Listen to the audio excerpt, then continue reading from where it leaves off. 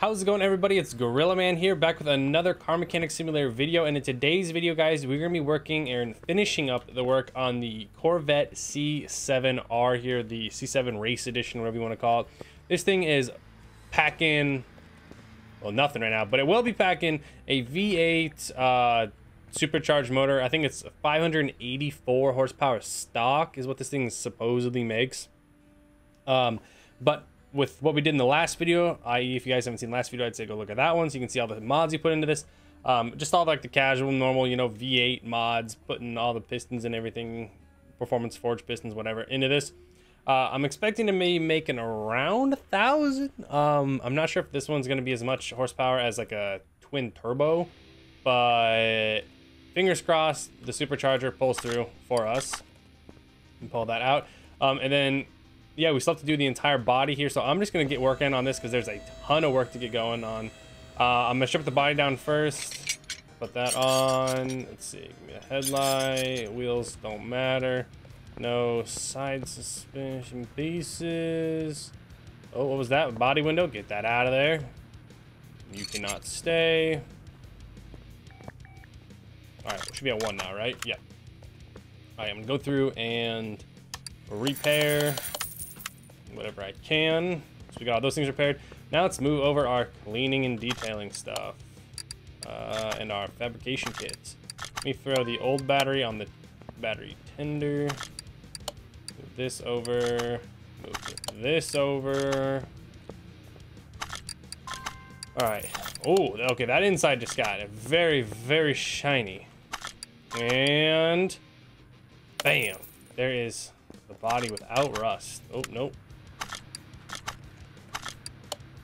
That back. And you know what? Now that I got the body without rust, I'll put the engine in. Hopefully we'll have something it can set on that's not actually rusted out. Uh, radiator A. Need to pick up one of those. Let's see, radiator A. I think I'm gonna buy a fan housing B. I'm gonna buy the normal one. Just because I end up needing them anyways. Yes, fan B, sweet. Alright, so I think the engine bay is almost completely done. I went to... Oh, well, I can't see the oil being poured in, but I'm going to be assuming I'm hitting it. I think. Yep.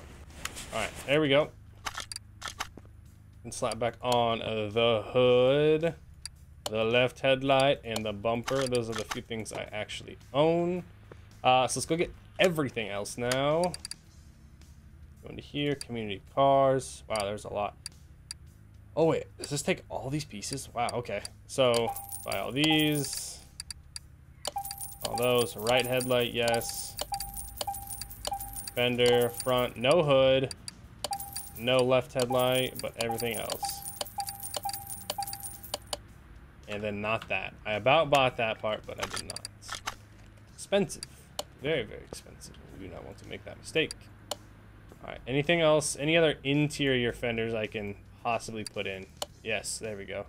Always try and get the interior roll cages and stuff like that done first because if you don't do it, it is a pain to get back inside there and actually get it to work. What about the, yeah, so let me get this window on before I go too much further. It's pretty dope back there. All right. I'll, looks like I'll have to put in our own steering wheel, it looks like. I was expecting this one to have its own, but it does not. Oh, get your window on there. 94%. What are we missing? What are we missing? Oh, main window. And I'm assuming that's 100. Nice. Okay. And just like that, we go from $48,000 with it being terrible, looking bad, and no motor to a new motor and new body parts. Still not paint matched, but 356k. So that is uh, definitely quite the upgrade. Uh, like I said, like a hundred times before, if you guys want to make a ton of money in CMS 15 or not 15 G's, CMS 18 G's, you just got to buy an expensive car, redo the body, and that's it. Just throw body pieces on it. Nobody cares about suspension or motor, just the body, and then you will be getting a lot of money out of it. All right, let's get this thing up in the air. Now we got some real stuff to start working on. We're gonna pop off the tires and wheels. A little loud.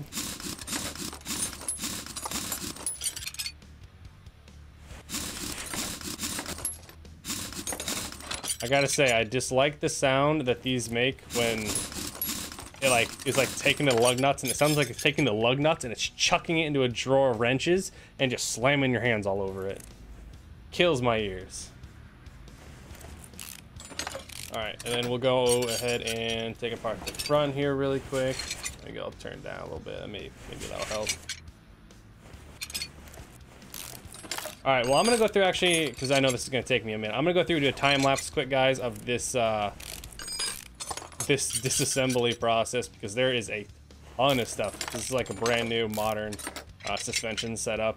So I'm gonna go through, disassemble all this, and I should see you guys back here with all this stuff disassembled and maybe a couple other things put together, ready to go. So see you guys in a second.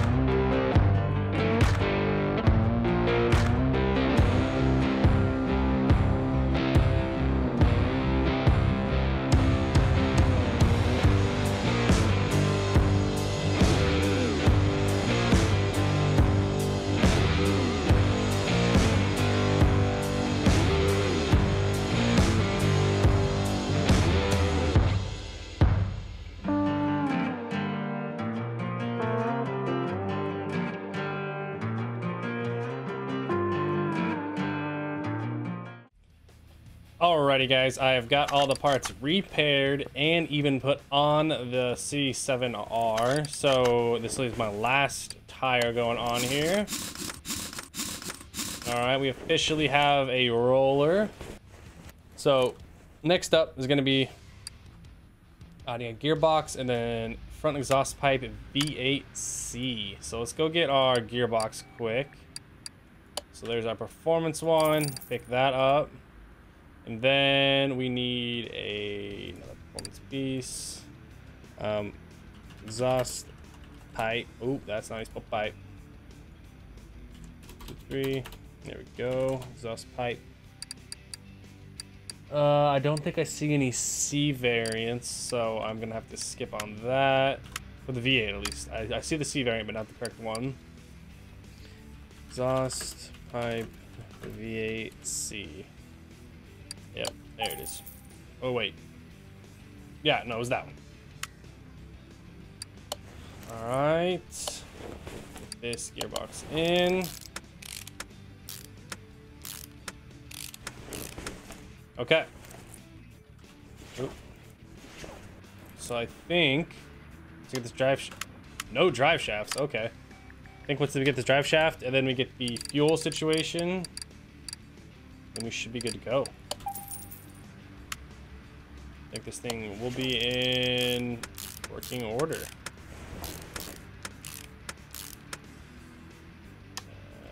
Uh, out of fuel tanks, that's all right. I need to stock up on those anyways. Usually buy them in bulk. 20 fuel tanks at once. I've been through probably 40 to 60 fuel tanks now.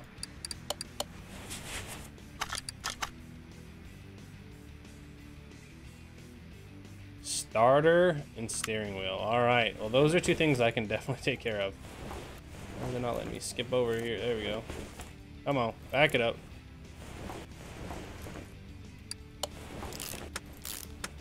Okay. All right. Let me move you to the bay one. Hopefully I can even open the door here.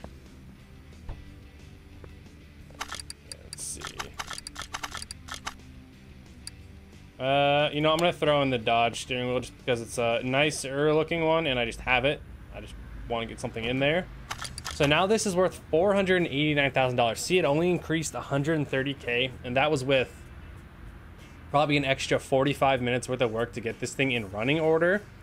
So you could have just taken the entire car and done it like three times over just the body and easily like tripled or quadrupled the amount of money you would have earned.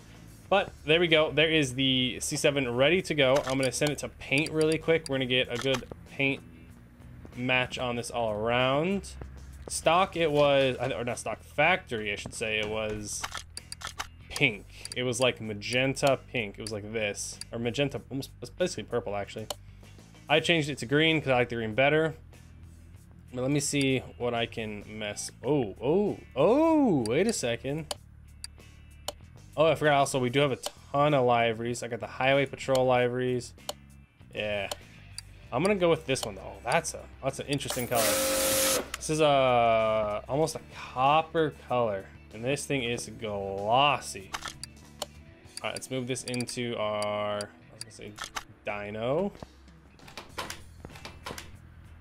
Alright, and let's see what this let me pop the hood. see what this supercharger can put down. 584, we're looking for a thousand. Looking for a thousand. Come on, baby.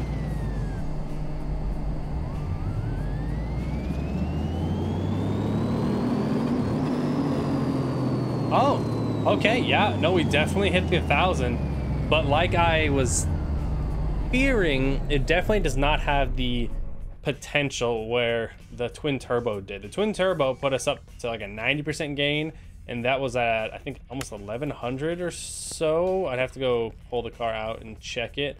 But dang, yeah, still incredibly fast.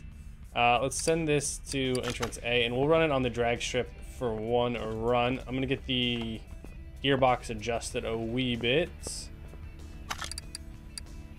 And I kind of remember what the numbers for the last one were. So we're going to down gear this to like 60. And then this is going to get brought up. I think I need to close this gap a little bit. This gap more. This one's about 180.